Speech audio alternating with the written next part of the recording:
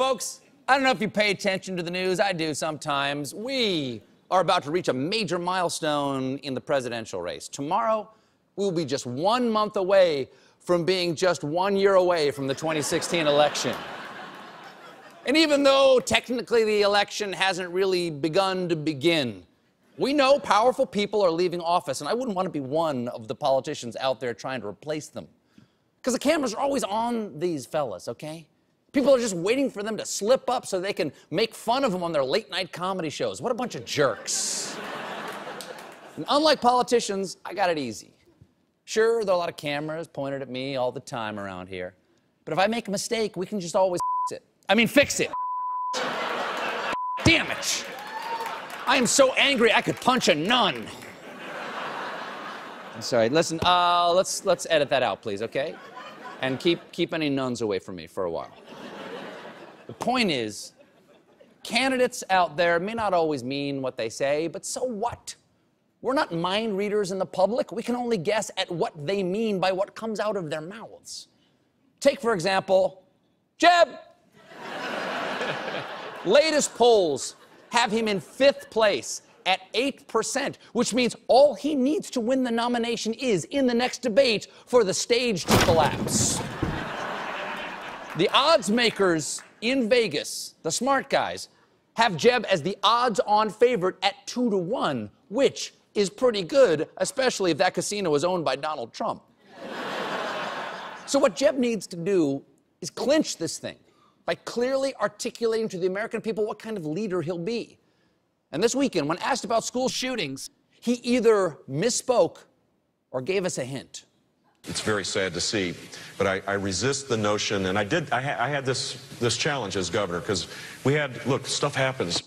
Now, in the face of tragedy, the phrase stuff happens seems a bit cavalier, and I believe it would be a bold choice at a funeral. I'm so sorry for your loss, and I just want to say from the bottom of my heart stuff happens. now, in fairness to Governor Bush, this did come at the end of a long conversation where he had already expressed his horror and dismay about the shootings in Oregon. But it's what he said next about school shootings that was much more interesting. Look, stuff happens. There's always a crisis. And the impulse is always to do something, and it's not necessarily the right thing to do. That's leadership. not necessarily doing anything. Follow me, everyone. Where are we going? Right where we are. You know,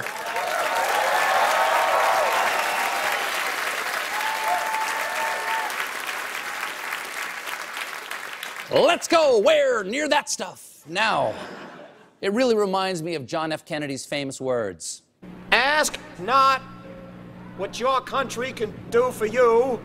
Also, don't ask what you can do for your country. Just kind of chillax for a bit. Maybe things will work themselves out. The point is, Jeb Bush clearly has all the advantages that a candidate could want and should be doing way better. But when he says things like that, after 142 school shootings since Sandy Hook, it sounds like he's got, how can I put this delicately? Stuff for brains. but Jeb's not alone in having trouble expressing his case for leadership. As you know, John Boehner is stepping down as Speaker of the House and riding off into the sunset, which I think is how his face got that color in the first place. And Speaker Boehner's likely replacement is House Majority Leader and your friend's dad forcing you to go to church with them, Kevin McCarthy. McCarthy's got plenty of support in Congress, so he's got the House part down. But apparently, he's still working on the Speaker. Today, to have a minority group within one party to say you cannot have a debate, you cannot have a vote on the bill, isn't too important. And today is the day that we should really look to and the pressure mount to actually let the people have a say. Strong English like words. Today is into important the day that should really look to and the pressure mount. If not, who? Now, I'm not sure what any of that means, but I'm sure it means just as much as this foreign policy speech he gave last week. We must engage this war of radical Islam if our life depended on it. because it does. We don't have the same as difficult decision, but this White House is managing the decline and putting us in tough decisions for the future. In the past few years alone, I have visited Poland, Hungary, Estonia, Russia, and Georgia. Wow, that guy is well traveled. Hopefully, his experience in Hungary will allow him to finally broker a peace treaty with Narnia. Now, some people.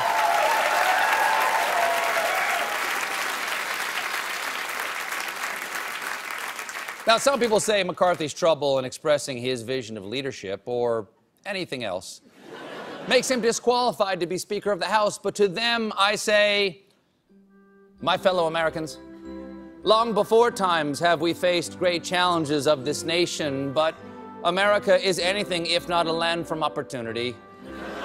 Of the Speaker and the House, Kevin McCarthy wants to rise that opportunity and let every mouth speech as one. It's the circle of life, and it moves us all. Because without a brave leadership, America won't be left behind. I believe it was Ronald Reagan who said, Thomas Jefferson. And those are words are still are true today. Thank you. May God thank America, and hello.